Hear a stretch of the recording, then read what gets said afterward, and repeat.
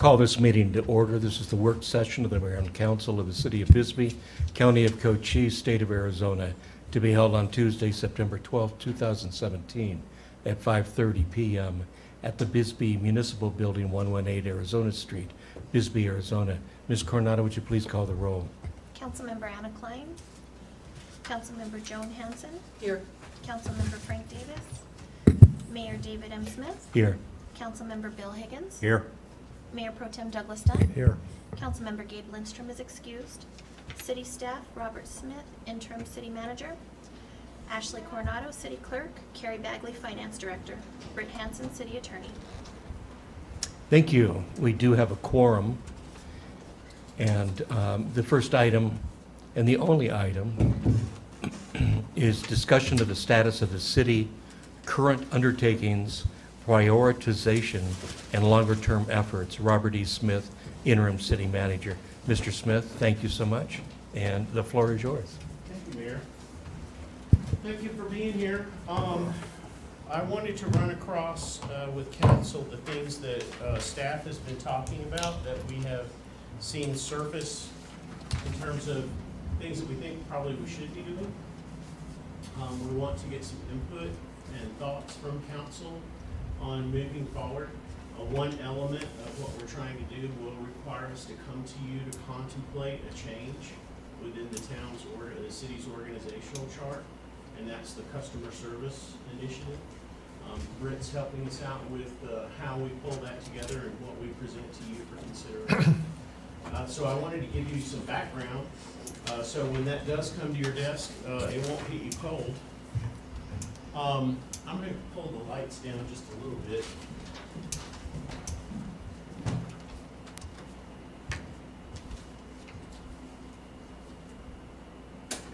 How's that? Can everybody see? Yes. No, this body can, I can't speak for everyone else, sorry. Uh, so, uh, I wanted to start with, um, just a recognition of the symptoms, what it is that we're going through, why we're going through that, uh, and then why we selected the things that we selected to move forward on. Um, I think you guys have seen this chart before. This is, uh, what Pat Walker brought to you, um, uh, I, I, several months ago, I, I imagine. Um, but basically, it's looking at your general fund, um, and you, you're, uh, spending more money than you're bringing in in the general fund. And this year, we have a balanced budget, but we're projecting next year, uh, that we will not. And eventually, the fund balance that you have, which is basically your savings account, that's the extra money that you have left over, you chew through that when this red number, uh, happens in the general fund. And eventually, that's what everybody's talking about, 2021, 2022, uh, you not having money left in the bank. And I think that, um, most of us would agree that we are not covering and spending money on all of the things that we should be spending money on right now. You can kind of look around and tell there are things that we're not doing that we should be doing. Um, and what that means is we don't have enough revenue coming in. Um, and basically, after going through and looking at staff and tasking, um, you can't lose more staff. You, you're already below the critical mass of head, heads that you need to be getting the jobs done. We're already working overtime, we're already working on the weekends. Um, one example that you won't hear people talking about too much, the department heads are taking turns scrubbing the bathrooms. That's where we are right now. And until we can, uh, begin to organize our funds a little bit better and create a little revenue, we're, everybody's pitching in like that. So basically what Pat was telling you was, uh, after this year, if you do not budget a contingency line at all, so the hundred thousand, uh, for surprises, you will still chew through your fund balance. And you, you've got to change your behavior, is what she's saying. This is a symptom. You know, you're looking at the numbers and you can tell, hmm, we're not operating quite right, we need to change something. So,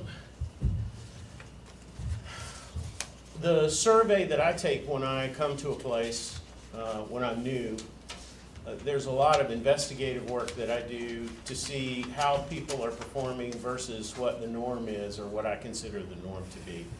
And I'm seeing these vectors that are headed in the wrong direction. Your, your head count uh, and your leadership has been in decline. And your professional skill sets and training within your organization have been in decline. Um, Compensation and benefits have been frozen, which is a decline. Uh, Asset maintenance and capital improvement have not moved forward. Um, And, and I think in some cases, we've forgotten some things. Um, Your fund balances, we talked about those in your reserves.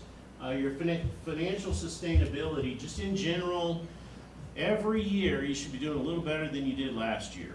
That way, you don't have to worry about your long-term sustainability, and, and that's a problem right now. And we can't do anything about state allocated revenues yet. Um, but it remains to be seen if the cities and the counties have the ability to push the state to change some of those allocation formulas. But that's not on the table anywhere right now. Our services and programs, our quality of service, we can tell by the way people communicate with us that they're not happy. And that seems to be increasing more uh, than it was four or five years ago. Um, We have seen um, an uptick uh, recently in some local investment that's very positive. In general, over the five-year period, uh, development and local investment has been in decline. Um, Relationships and partnering, I think for a long time, the cities and the county weren't really trying to cooperate a whole lot with each other, but I think under new leadership, uh, the cities are beginning to talk with the county about uh, cooperative efforts. That's all looking positive. Um, So what does all that mean? You see these things heading in the wrong direction. What it means is when you're trying to make a decision, if these things aren't headed in the right direction, your degrees of freedom in decision-making become limited. You as a council may not be able to do the things you want to do because things have been headed in the wrong direction and your resources and ability to invest in certain things or take part in certain things may be limited. Um, it also limits the administration's decision-making and provision of services to, uh, our customers because if our resources are too thin, we can't, uh, it makes it difficult for us to. Uh, in light of these things headed in one direction, all these things are headed in the other. So as your staffing complement is getting a little weaker, the complexity and the demands on them increase every year. And I think Ashley would probably tell you, not a year goes by that things don't get more complicated and more difficult to do within the departments. So does that, do, do you guys see this picture too? You know, keeping up with Bisbee, is this generally the picture that you have seen? Um, Yes. um, so if that's the circumstance, we can't keep doing what we're doing now. Because what we're doing now doesn't fix this. We have to change something. I think today, I just wanted to talk about triage and getting started with some things. So if we can talk about short and long-term objectives, uh, if we can create some short-term relief and breathing room for staff so that we can evaluate and come up with a really solid plan for you, that's a long-term plan.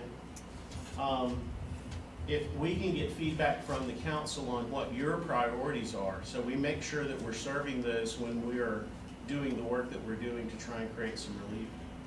Um, some of the long-term efforts, we may want to start now, because they take a while. And they need to be chipped away at over a period of months, maybe a year. Um, and so through our discussion today, um, directions, making sure there's a communications channel between, uh, council and staff, and that staff is doing a good job reporting what we're doing to you, so you know exactly what's happening within all this change. Because my understanding is you guys haven't been through a whole lot of change, but it looks like you may need to go through some change, and we want to over-communicate.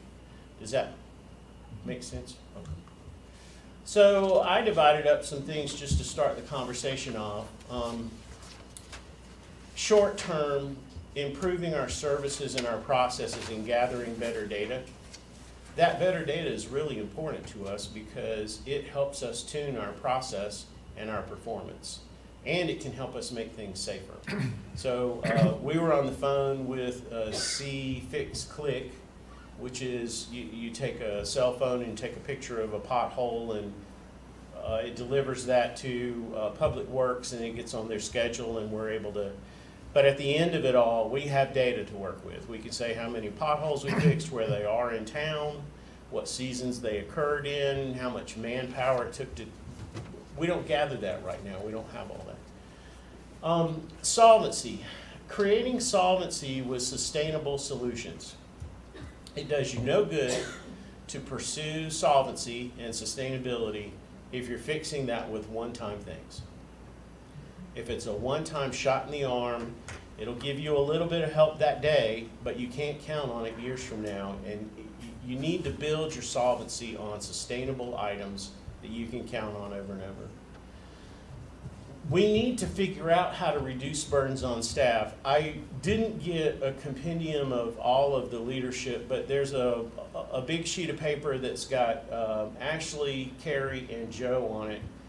And it's kind of a list of the things that they're riding herd over right now. And it's too much. And here we are talking about adding more to their plate. You know, all of this software we want to deploy, um, the processes we want to start. Um, we're gonna have to do some of our own triage and some of our own prioritization. And while we're doing that, we don't want to step all over what you guys think are the top priorities in the, the appropriate triage. Um, access to professional skill sets. I didn't say increase the hiring of professional skill sets. I said increase the access to professional skill sets. I think we need more professionality in the leadership, and I'm, not trying to um, denigrate any of the leaders that we have, but you have you literally have one man who is a construction contractor trying to do code enforcement, planning and zoning, and building inspection all by himself. And the tools to do that, the processes to do that are not set up. So when Joe reaches out for a map to try and figure out who he's supposed to send letters to, he's working off of uh, printed maps that are five, seven years old. Um, so you can't just allow your employees to struggle like that. They need some professional help. And we may be able to access that by cooperating with the county, cooperating with other cities. Uh, we need to explore um, the needs of other communities around us. Um, identify mechanisms to create some transparency. It is so difficult for us to provide information to the public that the public finds useful. We deal with so much information. If you talk to Ashley and Carrie about the amount of paper that flows through their offices, it's ridiculous. to try and make that transparent to the public so that there's some meaning there is very difficult. We need to find a better way um, to provide that. If, if you go to some of our transparency stuff on the web, it's just not set up right now. You know, the numbers in it aren't, they don't make sense. So we've got to work on that, and that's more time off of our normal everyday tasks. Uh, regular, meaningful reporting on performance. Um, I think if we begin to compare how well we are stretching a dollar and how we are tackling things versus the way other communities tackle things, number one, we'll discover where we're efficient and where we're not. And then number two, we'll identify where we need to go ask questions on how to learn how to be better at doing those things. So my hope is those short-term things will yield a little bit of breath uh, for our leadership. Longer term, stable processes and schedules over time that would just become the rote normal. Uh, you, you can expect things to be done on that schedule and they're locked in and everybody knows what they are. Uh, financial sustainability takes years to get, um, but you have to start somewhere. Um, incremental growth in your services and quality. Um, right now, there are things that we could be doing that we're not. Um, there are some things that might best be uh, facilitated through the nonprofit sector. That discussion needs to be had here in Bisbee. And then a positive impact on citizens' quality of life. Um, are, are there any questions that you guys have about what I've thrown up on the board there? Are there other objectives that, um, council thinks that we might not add to the list?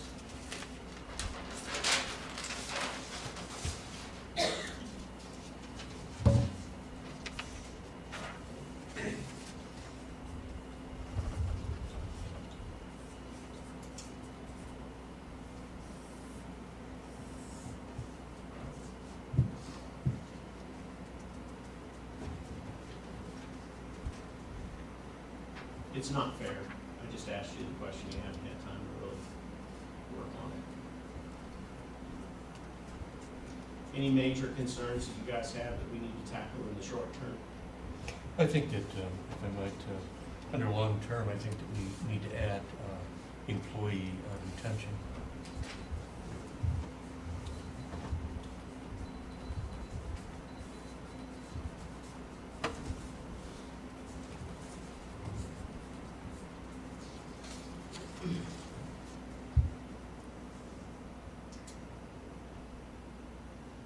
Um, Possibly short-term employee um, training. I think the, uh, the, the training provides, there's many reasons for it, but one, it certainly provides a better customer experience. What about, uh, the preservation of institutional memory? I mean, that's a huge giant concept, and software may help us do some of that, but do you think that's a long-term? Yes.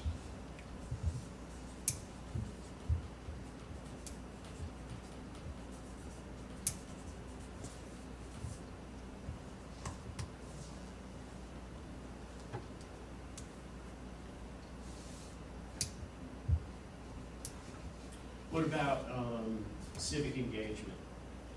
Are there of civic engagement that would be short-term versus long-term, or, um, does council have preferences on how we connect with the public and the business sectors? Yeah, I kind of, personally, I, um, as you were going through this, I kind of typically lump that into transparency. It may not really belong there, but that's, that's where I typically uh, lump it. And uh, we don't have any set um, schedules and so forth to do that. It's up to each one of our uh, counselors and myself to engage the public in forums or to call for meetings or, or whatever. Um, Some do, some don't, and um, um, it probably would be a, a a far better idea if we had some type of a schedule that the public could um, look at and uh, look forward to.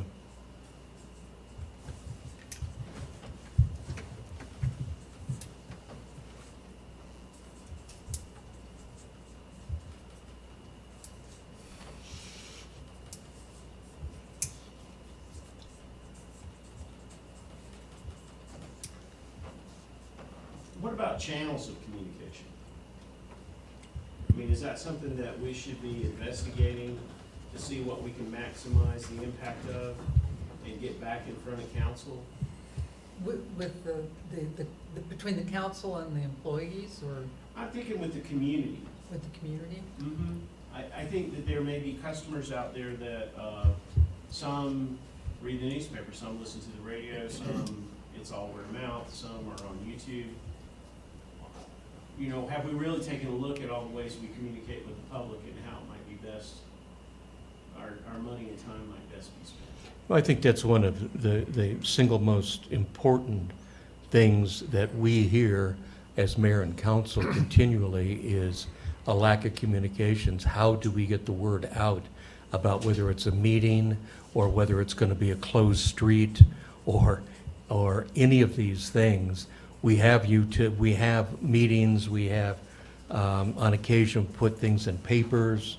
Um, It's, uh, some of us uh, put them on um, um, uh, websites, and, and yet, we will always get that I didn't know about this and I should know. And I think it would, it's, uh, we're never gonna fill all those holes, but we can try to figure out the best way to fill as many as we can, I guess. Would it be helpful for, um, staff and the council to have some training in communications? I know in, in Mhm. other towns I've been in, uh, particularly those that have been through some fairly contentious timeframes, um, having someone come into, uh, the council and leadership and teach them some of the PIO perspective in, in terms of responding to inquiries, um, and dealing with difficult questions and knowing where the line is in, in terms of where you should go verbally and where you shouldn't go verbally with the press. Would that be helpful? I think it would be, personally, uh, it would be helpful, but the most helpful probably to staff. And I'm saying that because politicians typically say what they want to say anyway, uh, with or without training.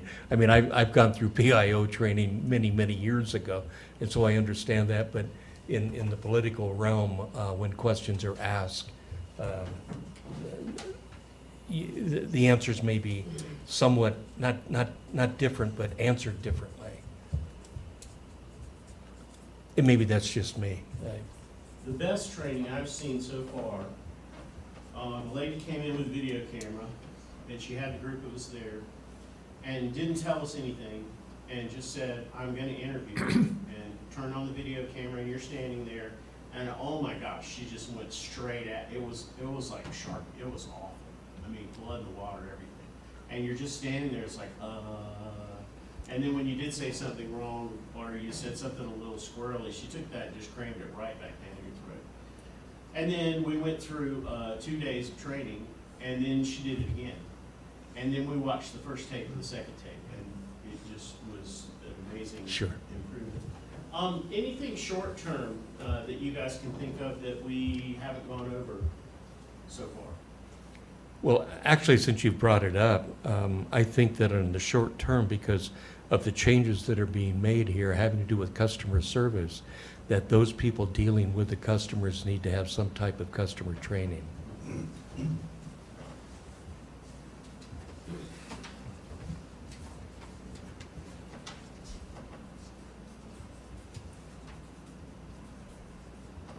Um, Mayor, while you've, uh, brought that up, I'd like to chat with you guys just generally about, uh, the customer service training initiative that we've talked about. The idea of our public, when they come into this building wanting help or wanting to take care of an issue or a problem that they have, um, being able to get the easiest, fastest service, and then the communications being there to be able to reconnect with that person and let them know how we're doing at resolving the issue. Um, and then at the very end, calling the person back to let them know, okay, we've done all that we can do, this is the best that we've got. Um, the complaint process could be centered, uh, downstairs where the customers come in. Our planning, permits, code enforcement, building inspections, all of that can be in that same area. Um, and we can direct customer inquiries through that same area. So we create a process of, uh, here's, we've received the customer, we've gotten the information that they want, and then customer service delegates that out to the department, whichever department needs to resolve the issue. They're the ones that are going back to the department a week later to say, how? I need to report back, what have you gotten, what's our schedule, how are we responding? Um, I, I think too that there are some processes that we have as a city that are very frustrating to people because of the way we treat them in the, uh, in, in the, in the process of working through their problem. Um, you know how when you go to the doctor's office and they hand you the clipboard with all the forms? And you write down your name, your address, your telephone number, and your social security number about sixteen times, and you're, you're dealing with one doctor, why? We have the same kind of problem here. We collect a lot of data about people. If we know your name or your address, we know everything else about you. It's in our system somewhere. We know your phone number. We know what kind of bills you're paying. We know how you performed on your bills. We just have to look for that. So right now, our systems aren't set up for us to find that really mm-hmm. easily, but they could be. And so one of the things I'd like to see the customer service folks do once they get trained is take a look at how we treat our customers and how our data works. And is it possible for us to tune up how we treat our customers so that we make it easier for them to get the services that they deserve? And the other thing I'd like to look at is, a lot of times when somebody comes in for one thing, you know they need several others. You know, if somebody moves to town and they're setting up their sewer bill, you already know if they have kids, they need to know where the school is, they need to know where the doctor is, they need to know where to buy school, so there, there's stuff that we can have a packet for people that are moving to town. There's other services that, when people come in for, um, we can pair them because we know that they're gonna need something else from us. Or we can begin to set their expectations by educating them a little on the process. We get a lot of complaints in Bisbee that Joe has to deal with. Um, and people don't have a realistic understanding of what kind of time frame they're looking at to get that resolved. So like code compliance, you know, if the person decides to be non-responsive and he has to go through the whole blown process, you know, that can be nine months. Getting out the other side and getting the court to mandate something and then the city takes action and bills or liens the property. It's a long, and, and people don't have that expectation when they come in and they just want the weeds cut. Um, so how we treat our customers, what we do with them when they ask for service, I think that's something that we can focus on. If we get this location down here doing it, um, and get them good at it, we can then send them out to other departments as emissaries. So if we get the training here, um, with the department head's permission, we can send them over to, like, police, and take a look at how they handle their customers, not the ones in handcuffs, but the ones, you know, um, and fire and, and all of the other departments. So I think there's a way to, once we get it down, replicate it across the other departments. That way, when we're dealing with the public, they have a positive experience. Does that kind of cover, do you guys understand what I'm shooting for over there? Yeah, and I'd like to, if I could follow up on that, uh, Mr. Smith. Um, I don't get to say that very much. Anyway, um, I, I real, what you just said is, is, and I realize we were talking about the public, but um, the, the efficiency of not having to enter that information by every department that you go to will save so much money in staff time that the cost of implementing the software to be able to do that becomes minimal. And I, I'm just, I'm not, it sounds like now I'm preaching and I'm not, I'm just throwing that out because um, it, it takes money to make money and this is another example of, this is a twofer, this provides us customer service, but it also provides us efficiency and savings, so.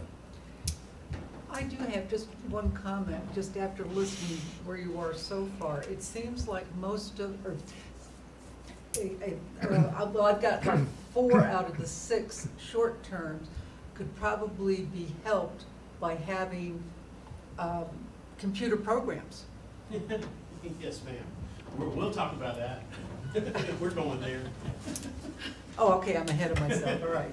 You're way ahead of all of us. Um, yes, we, we, yes, you're exactly right. That's a first. And, and investment in our software and our technologies is desperately needed. We're literally working with rocks and sticks right now. and We're working very hard, uh, and doing good work with that, but working very hard to do things that these days shouldn't take that long. And it, I mean, it, it takes a lot of the burden off of the people. It's, it's a savings and, and all the way down the line. The last perspective on the customer service thing that I wanted to cover with you guys was internal customer service. Because we have people out there right now trying to do their job without any support. Joe is a great example. He doesn't have anybody helping him with any of his admin support. So he's got all these people calling in with complaints. There's no tool built to manage, uh, the complaints and the timeframes. There's all this correspondence that he's generating for that. There's correspondence he's generating for building inspections, and then a ton of correspondence that he's generating for planning and zoning, um, the board of review, what do you call it here? Design review The, yeah, design review board, and there's one other that he sits on, I can't remember right now, but. Board of Adjustments, thank you, Joe. Thank you, Joe. Um, so, uh, one man trying to do all that and cover the entire town, uh, is an impossibility, you're not gonna catch it all. Um, so, customer service, uh, should be an administrative horsepower source, um, that can handle some of our communications and transfers and questions, but also you peel away a person for special projects, or you hit a high season on something like, uh, weeds complaints or something like, and you wind up shuffling your, uh, your horsepower around to meet the need. So we think that it'll help us with our internal demands as well.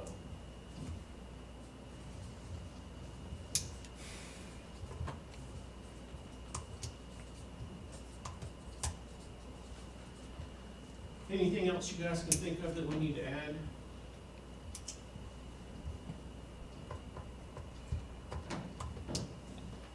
I know it wasn't fair to throw all this at you last minute and ask a bunch of questions, but.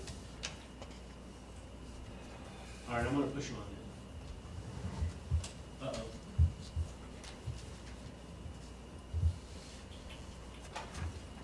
God, it's just one.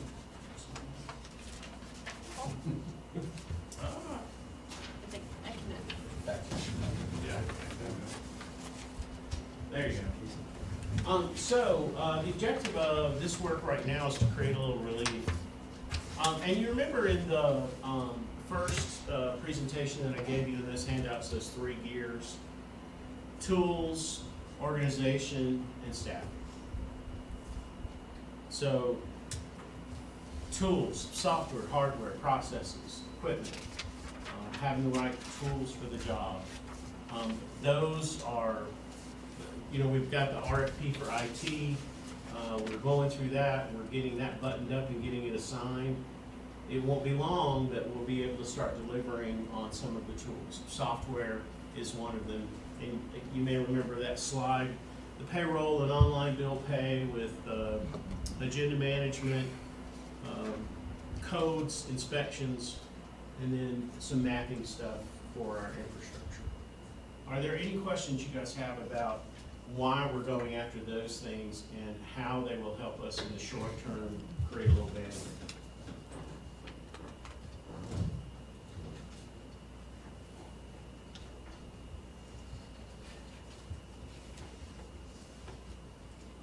Y'all are quiet, y'all are so quiet. No, we just agree with you. Okay, well, we will be. At least I do. We will be evaluating this stuff. Um, we'll, we'll go through the software, the department heads and the staff will, will decide, you know, which one seems to fit our needs the best. Um, and we'll be making presentations to you on how this will make a difference for us and, and why it'll make our jobs a little bit easier. Um, Any questions on the customer service for, focus, why we're doing that, why we're tearing up walls upstairs, what we're gonna build down, down here. We're using prison labor. Uh, we're not really doing a lot of construction upstairs, most of it's demo work. Um, the bulk of the construction will be, uh, a counter, rather than have a, a window where they shut the thing in your face. It, we're just gonna have a big open counter, so that, you know, you can see. And then behind the counter, I'd like to have a, a big blank wall with Bisbee's logo on it, rather than, I'm not trying to pick on anybody, but right now you just see everybody's workspace, it's just. You, you mentioned um, what was going on downstairs, but you haven't mentioned yet what is going to go on upstairs. Oh, thank you, Mayor. Um, we're working upstairs to convert, uh, the space, uh, to offices that, um, the clerk's office and the finance office can come upstairs. That way, when customers are getting taken care of, there's not constant interruptions happening within the clerk's process and the financial processes. Um, not, to- not that we don't wanna talk to the public, it's just, um, it's a little informal, um, and it's interrupting our work. The other thing, it's difficult also being split among floors for us to get together in a quick impromptu way and get a quick agreement on something and move on. I'll call downstairs, Um, Carrie will be uh, fighting some fire somewhere, she won't be at her desk, I can't catch her. I come downstairs, and then I can't physically find her, I go back upstairs, I leave a message down. So being able to sort of stick your head out the door and say, hey, what do you think about so-and-so, uh, would help us out a lot. And we're gonna create a meeting room upstairs, uh, that's large enough for us to get all of the departmental leadership together, so that we can start meeting together and doing some planning. And I think we can make that space available to council for executive sessions, so you have some privacy and a little more room uh, to work in. Most of this, again, is all uh, uh, demolition. Um, The prisoners are here. I think the most expensive thing we bought is sheetrock. Um, We may have to do some plumbing work in the bathrooms. Um, We discovered some issues with the bathrooms that needed to be fixed anyway. Uh, So we're addressing those. But upstairs, you'll see uh, Ashley and Nina and me and who else in your office, Ashley? It's just the two of us. Just the two of you? Um, and then Carrie, and, and Carrie's got a handful of people that are coming upstairs. And we're gonna take Joe, um, out of his office upstairs, it's too small really for his maps and, uh, plans, looking at sets of plans. We're gonna bring him downstairs and give him plenty of room. So if he has a person or two that wants to invest here, they wanna look at something behind closed doors with him, there's plenty of room to have that discussion and invite other uh, departmental leadership if that's needed. Um, Eventually, when we go through the, de- the development process, we will, we will have a practice where all the department heads uh, sit down with the developer and give them feedback on their plan. Um, I've, I can't tell you how many times I've seen fire sit in on a technical review meeting and have suggestions for the development of the site and fire suppression that actually saves the person. Because they can shorten runs or place the hydrants in better, better spots. So we'll start that when the time comes, it's just that's a longer term thing than right now. Uh, but, you know, upstairs, uh, we're eliminating some just peti- petition walls, partition walls, and down here, we're gonna be building the counter. Any questions? We will have it all inspected by Joe. We will have a, a building permit with an inspection, so that, well, it's important for, for insurance. All right. So, um, some things we're doing are already underway, and you have a list. Um, it's the spreadsheet with the colored squares on it, there it is. That's it right there, it's got green and yellow. Uh, the squares in white, we haven't started. The, um, the squares in yellow are about to start, the ones in green, we've already started talking with each other about. Um, do you guys wanna go down the list? There's a summary. This one that's in black and white actually has a column on the side that kind of explains what it is that we're doing. If you guys wanna take a moment and scan through those, is there something that you'd like to know more about?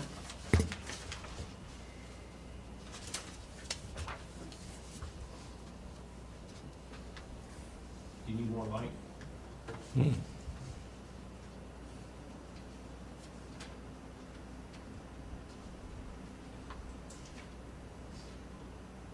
You are providing heating and cooling to these new offices upstairs? Not yet, we're planning on it, and we're creating the space to do the ductwork.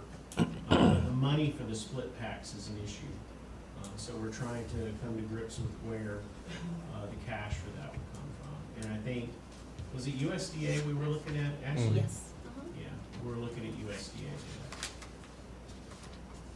So for right now, we're just running the ducks. That certainly is essential. We're talking about satisfaction and support of our, our staff. I mean, I've certainly been in your office where it was just unbearable in terms of uh, heat, and of course equally in terms of cold. So I, I it concerns me as we're moving people around whether, and uh, I couldn't tell from your, you got a two here in terms of your priority, and uh, it seemed like that's awful, is quite essential to making all this work. It's important, unfortunately, I'm from South Carolina, I'm used to the heat. Um, and, uh, Ashley and Carrie and her crews are at a disadvantage because they're operating kind of in a pit with no windows, so I'm already putting them in space with windows, so they're kind of happy, and I'm gonna milk that for a while. But really, um, the reason why it's a number two is that we've got to go through some hoops to get the money to be able to buy the equipment.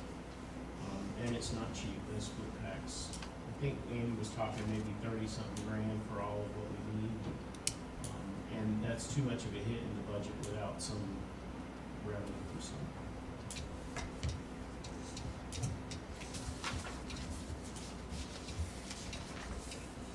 I did go through with, uh, my, my departments and asked them if we should change any of the ones to twos, and they said no.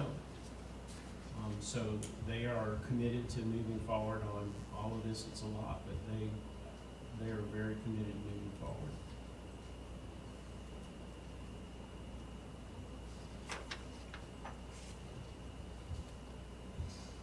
So one of the things that we haven't talked a lot about is me bringing uh, Pat Walker back. I'd like to bring Pat Walker back so that I have a solid understanding of those charts and that we put together a plan, uh, a five-year plan for marching you out of that trending. And, um, Mark Reeder, I talked with him, he's with Stifel. Um, they're a financing group, and they do bonding, but they also do debt consolidation. And uh, I've asked him if he would come in and take a look at our debt structure. Uh, he won't charge anything, he'll just come in. Um, But there may be some things that we could do for ourselves that would create a little breathing room there. uh, And free up a little cash flow. Um, So I'll try to work on getting Mark in after I get back from, uh, being out of town at the end of September.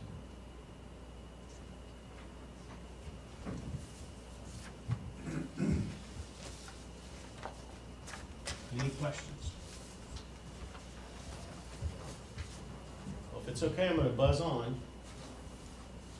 Uh, we've, we've been looking at this. Wow, and that's the end. So, no, no, um, May I make a suggestion? Yes, sir. Um, Would you mind letting the council know, I, I know, but I, I would like them to understand why you're discussing what Pat Walker's gonna do.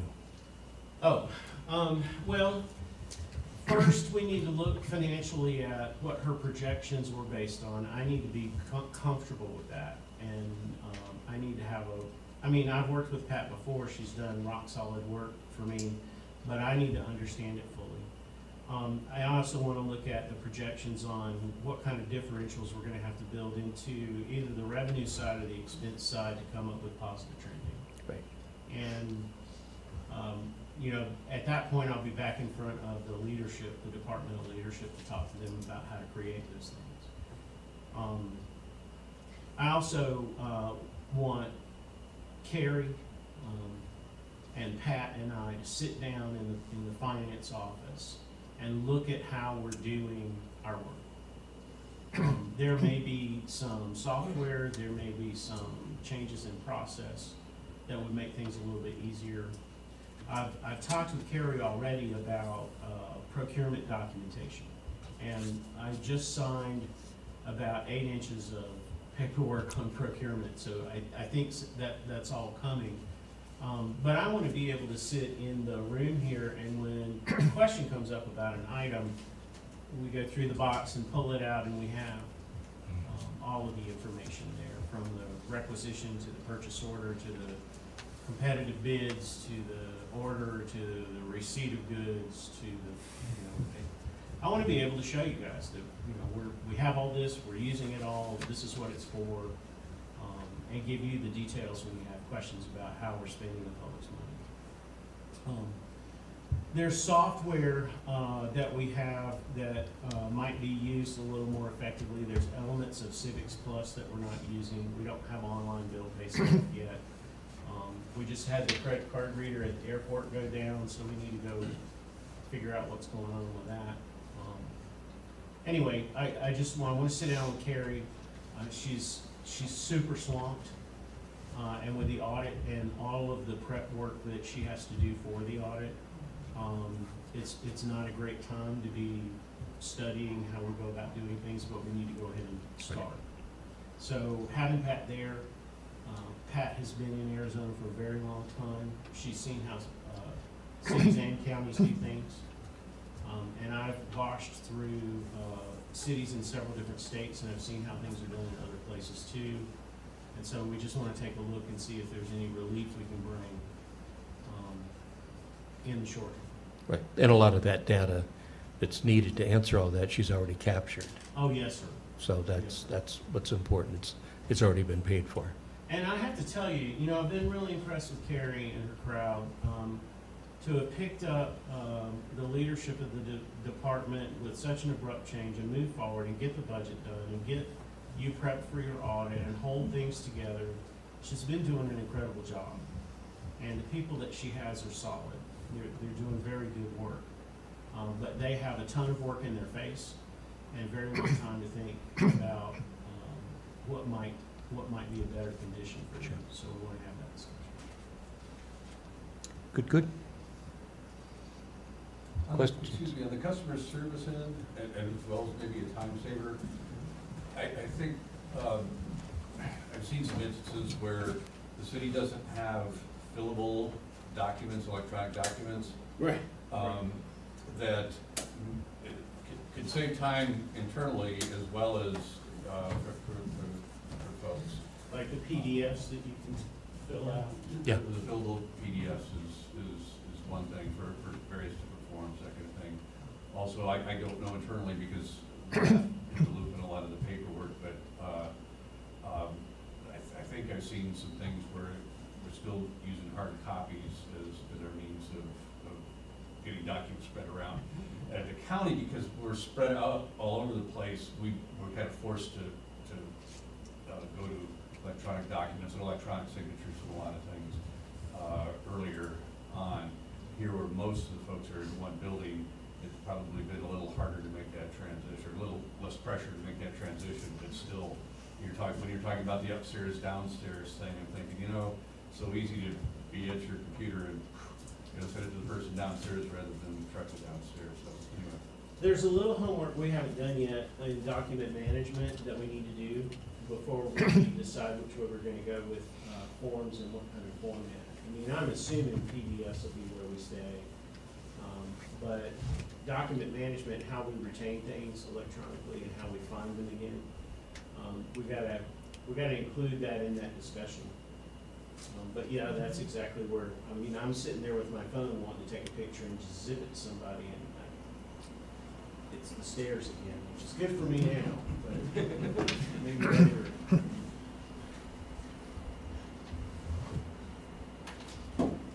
Any direction? Well, I think we're in the right direction. I mean, we're mov- moving forward. Uh, Quite, quite honestly, when you were brought in, it was to uh, do some of this, this very, the very things that we're, uh, have before us. And that- the evaluation of where we're at, uh, and uh, how do we uh, move on from there? How do we attempt to become financially solvent? Um, And I think that uh, we're getting that, and I appreciate it. Thank you. One of the problems that we have is because everybody is so busy, busy, we haven't been able to do something like this. And my, my concern is, are we gonna be able to keep going forward without burning people out?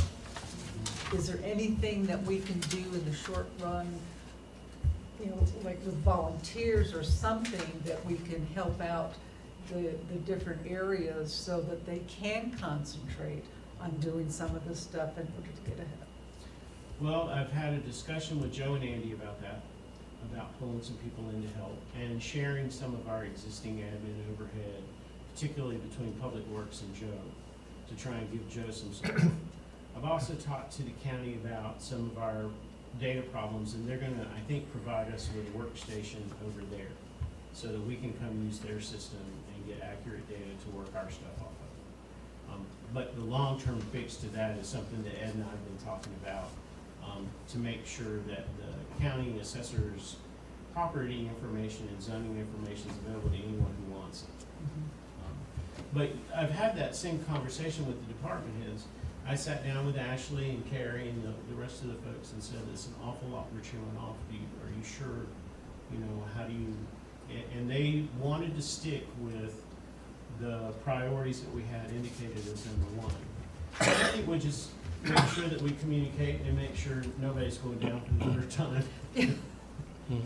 Well, I just didn't know if there was any way that we could pull, you know, other people in, if there's, there's, Well, we are doing that to a certain extent, whenever possible. I mean, we're u, we're utilizing Yeah. volunteers now, uh, Okay. in different departments for the first time in forever. Well, and one of the things that I've been really encouraged about is the department heads' willingness to discuss their challenges with each other. Mhm. They're now sitting around the table all together, talking about what's going on and, and who's trying to do what. Um, and I think as, as time moves forward, I'm hopeful that they will continue to reach out with each other and you'll start seeing some of that resource sharing back and forth. Um, and I'm definitely encouraging that with Joe and, and Andy right now. Andy, Andy came up with it, he, he said, look, that can help, and we, let's pull this together. This, this move certainly helps facilitate that also, when you, when you have uh, finance next to the clerk, next to you, um, uh, next to, uh, you know, um, down, down the uh, hall from Public Works. And we're saving a, uh, we have an office for you, Mayor. Well, that was certainly my top priority. it's in the bathroom, but there is an office for it. It's, it's a third stall on the right, that's Andy no has problem. promised us a very nice bathroom up. Yeah. Uh, The ladies' bathroom was really, really rough. Oh, We're- yes. We're dealing with all of that. Yeah. Yeah. Yeah, they're doing a lot of good work and, and uh, on, on no money, which is incredible, so, yeah. And then that's the other concern too, is how do we come up with the money on some of these things to, that we absolutely have to have, and we need to do it, um, but how do we pay for it? Tha- And that's been, I have passed that challenge on to the departments. And I have said, look, we've laid out these things that we want to do. You guys know the budget better than I do. Y'all need to put your heads together and figure out how we're going to fund what it is that we're trying to do. And so far, that's been working. And when it fails to work, I'll jump in and hopefully save the day with some miraculous idea that Some, comes. some from them. grant or. or- Jump, jump out of the telephone Or you booth. win the lottery. You know, I. You I, have a shirt with a big S on it. yeah. That's that's right. Um, yeah, I, I think that uh, when you're talking about that, Ms. Hanson and, and others are, in, in thinking it, um, we've been not only short-staffed, but we've been in a holding pattern so that other things that could make sense weren't explored. Uh, As an example, when we, we look at police and fire, and, and we look at what we've been paying in overtime, and we uh, indicated, um, can we actually, can we hire more people um, and give them the, the, the resources that they need with, um, uh, pardon me saying manpower, but I think we know what I mean.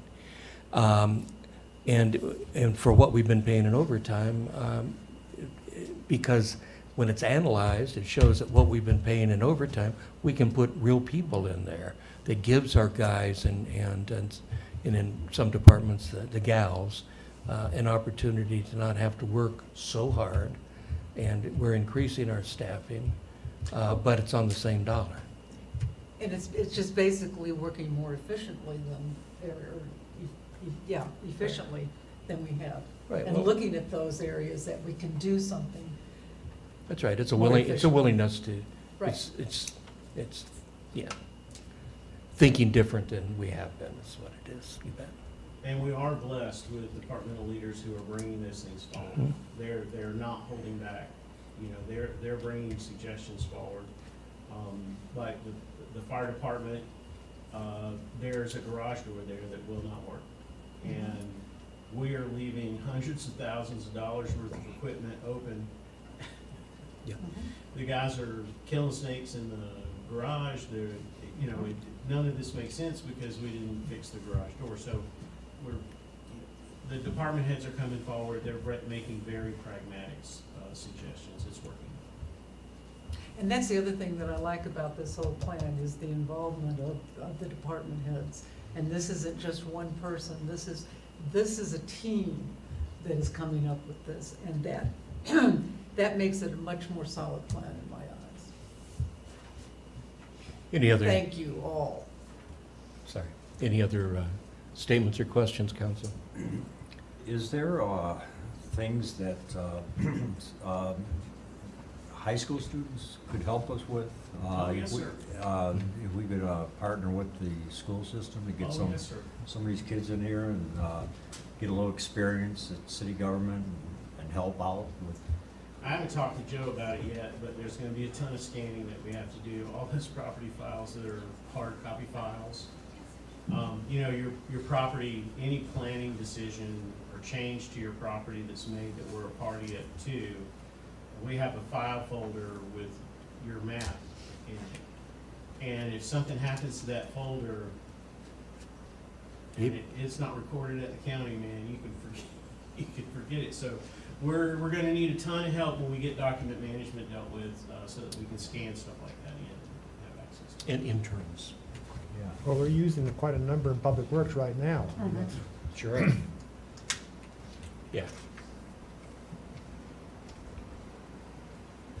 Well, I I just, as I'm going through this, I just have, you know, I'm, I'm trying to understand it all. I mean, that's, as I, Mhm. I mean, I'm, I'm, first item, of course, is the reception area and the person, and, and, and it's certainly, I don't quite have my mind around who, who actually comes now to the windows downstairs, other than someone to pay their utility bills. Um, And then, of course, I, I do know that certainly when people have uh, complaints or issues in terms of public works, there, you know, you- you go upstairs and, and, and they make a pu- uh, work order in terms of, of addressing that, and I guess you were gonna train this person downstairs now to do that in their stead. Uh, Or, or we'll come down here, um, rather than make people march upstairs, we'll, we'll come down here, we'll meet with them right over there in the room if we need privacy. Well, but that, that's kind of a, kind of a straightforward function, mean, someone calls in and says, I, I, you know, the, I got limbs to pick up and I'll go back in the alley, or the dumpster bottom fell out and, and so forth, and a work order is prepared for that, and of course, it's a matter then of directing phone calls that would now come to the reception person rather than to Public Works, I mean, these are things that, I guess are just simple logistics, but that's what's going through my mind, how will that, how will that, how will that work? Well, if, if I, if I could jump in, um, Mr. Dunn, as, as an example under s- some of the software programs that are being proposed, it's that person that would take that complaint and make the entry, which it then goes to Public Works. Right, that's what And it I'm keeps the assuming. person from running up and down the Right, that's stairs what and, you- to eliminate, and, and- yeah. and so forth. So it's Exactly. that public service person that actually is receiving the information, inputting it, and then it's going to where it needs to go. Correct. And it's nice to have the data associated with that, because right now, we don't collect that. And it would be nice to be able to come back to you and say, we did hundred and seventy-five potholes last, last year, and here's the areas of concentration, so we're gonna shift our paving schedule a little bit and hit this link right here because it had a majority of problems with it. Um, and, you know, there are people that come in for all kinds of things. We, we get people asking for bus passes, information, how do I get to, or where is so-and-so? Um, the ladies out front are kind of an encyclopedia of knowledge about Bisbee.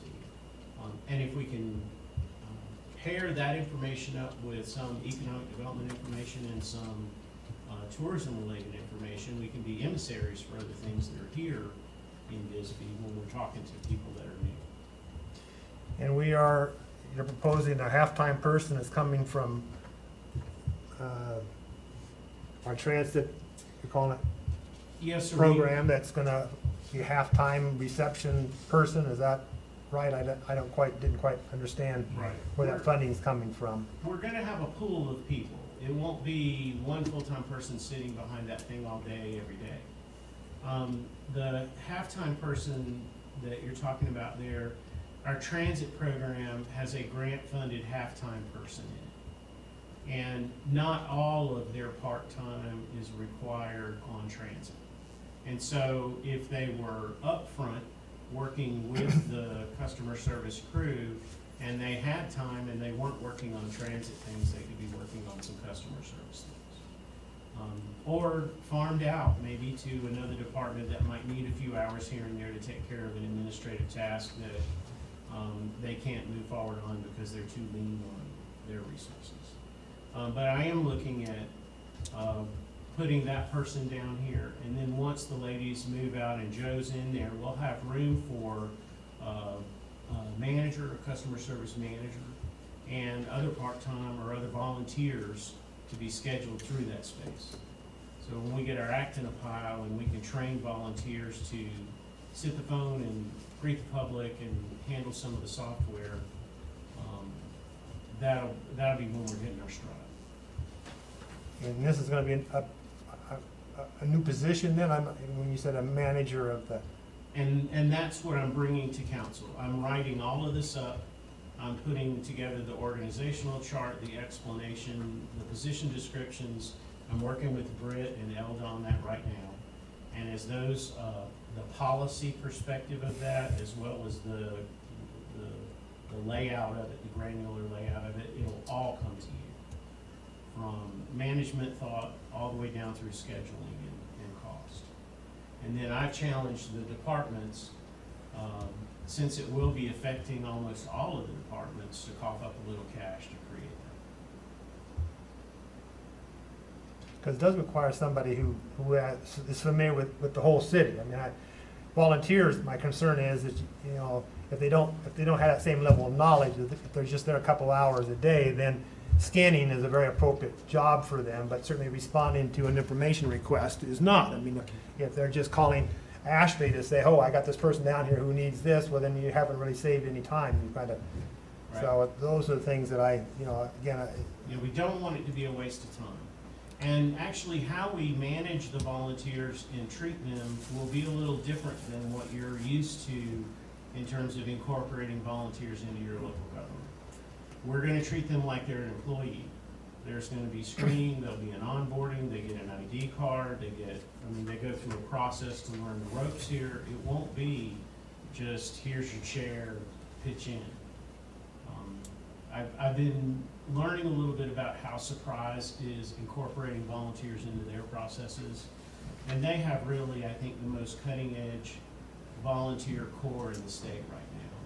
And they, they actually have people that are volunteering to help out with police, and there is risk involved in that, and they're, they're doing it. Um, So I'm trying to learn some things from uh, Nicole and folks.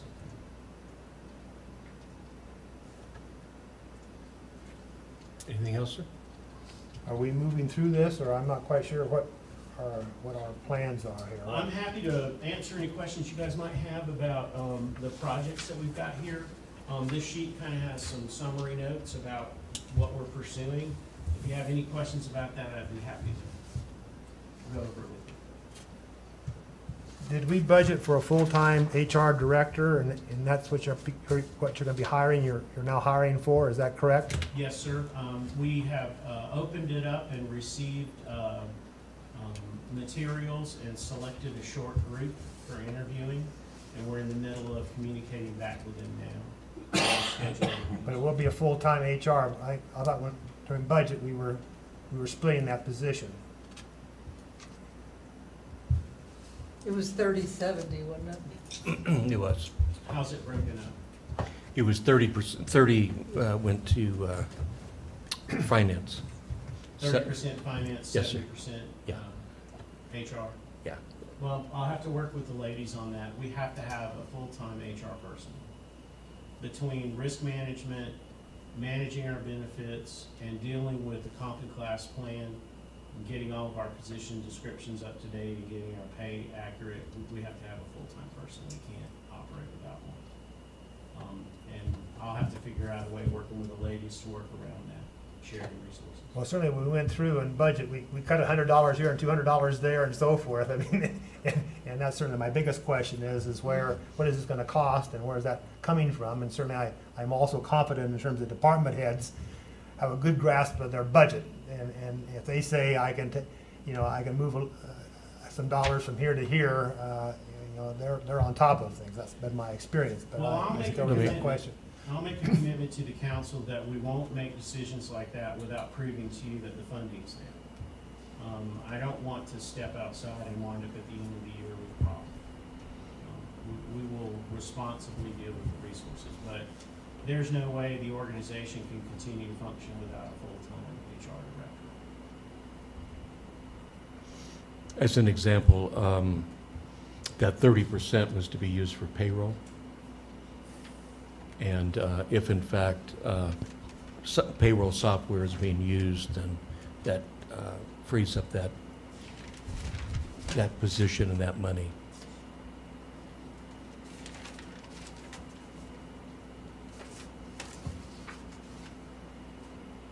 Uh, We also specifically, right or wrong, we made a decision not to fund a a consultant to do a compensation and classification study. Uh, And, and that certainly, I'm, I'm not quite sure whether that's, I mean, I guess that's a ten thousand dollar shot. Uh, Whether, uh, We'll start that in-house, and we'll do the position description definition part ourselves.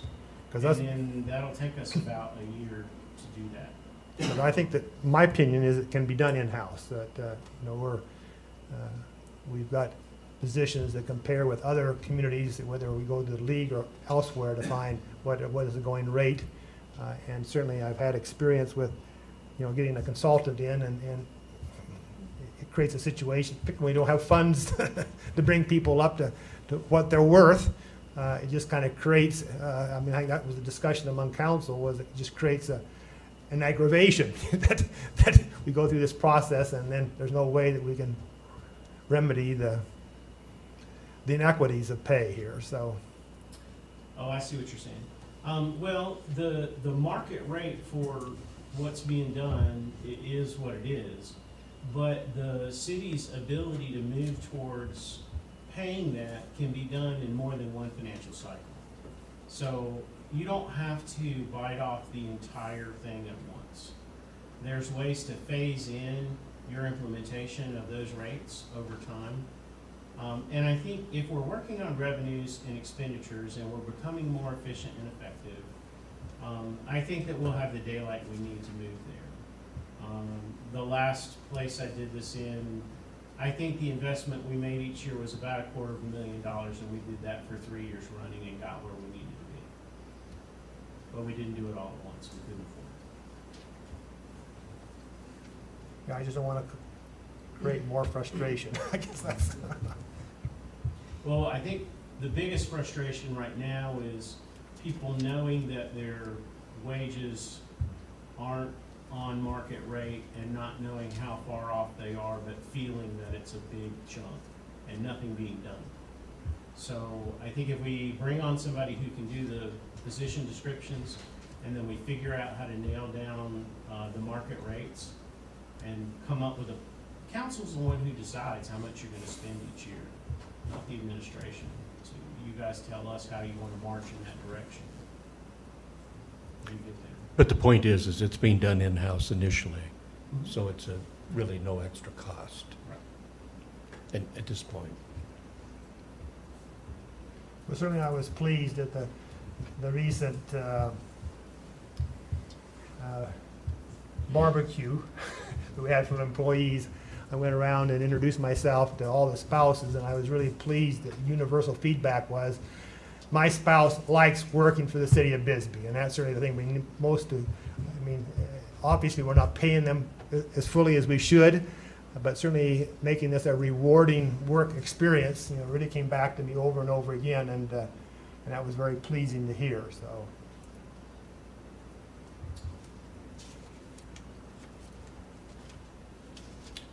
You good, Joan? Are you good right now, Doug, or you have? Well, yeah. I'm, I can go on forever, but if I, I'm not quite sure what our intent is I- here this what- evening, as- so. as- as- Okay, as I, as I understood, the purpose was that we were getting the overview, uh, we were getting the data, and then um, uh, asking um, the general questions, and then any specifics that we would get together with the city manager Okay, good. to discuss. That was my understanding. And if I come across something with one of you that really needs to be brought to all of you, Yeah. I'll bring that back. Um, You know, if, if I'm not able to help, uh, get to a point where everybody's feeling comfortable about what we're doing, I'll make sure that comes back to you as a group so you can work through that. Are are you uh, going to have another round of one-on-ones to, with the council to go through some of this or whatever? Okay. Okay.